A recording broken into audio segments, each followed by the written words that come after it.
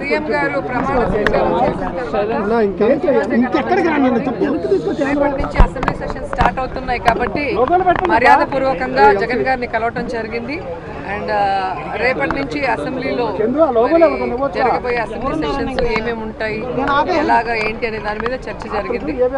And మేమందరం కోరుకున్నట్టు మేమందరూ ఎదురు చూసిన ముఖ్యమంత్రి పదవిలో జగన్ గారు కూర్చోవడం చాలా సంతోషంగా ఉంది.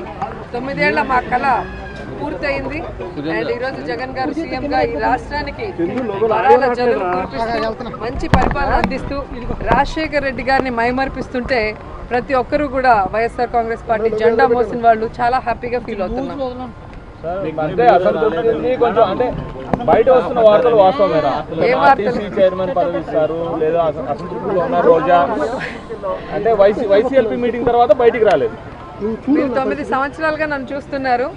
మేమందరం కూడా జగన్ గారిని ముఖ్యమంత్రిని చేయాలి ఈ రాష్ట్రానికి రాజన్న పరిపాలన తీసుకురావాలన్న ఆలోచనతో పనిచేస్తామే తప్ప పదవుల కోసం పనిచేయలేదనేది మీ అందరికి కూడా తెలుసు. అండ్ ఇక్కడ అలగటాలు బుజ్జగింపులు అనేవి ఏమి ఉండవు.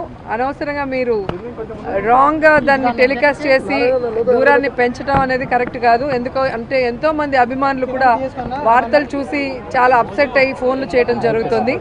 అండ్ ఈరోజు జగన్మోహన్ రెడ్డి గారు ముఖ్యమంత్రి అయితే మేమందరం కూడా ముఖ్యమంత్రులు అయినట్టు. సో జగన్ గారి పరిపాలనలో మా మా నియోజకవర్గాల్లో మా ప్రజలకి నవరత్నాల్ని అందించాలి మా ప్రజల కష్టాన్ని దూరం చేయాలన్న ఆలోచన తప్ప మరో ఆలోచన మాకు లేదు. మీరు కోరుకున్నారా? చాలా సంతోషం అండి. బాగా ప్రే చేయండి ఫ్యూచర్లో అవుదాం.